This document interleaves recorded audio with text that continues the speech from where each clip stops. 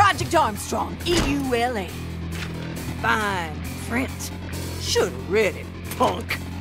Defects get recalled. Uh, recalled? You mean killed? Rekka ain't picked the verbs. That's for the mooks in marketing.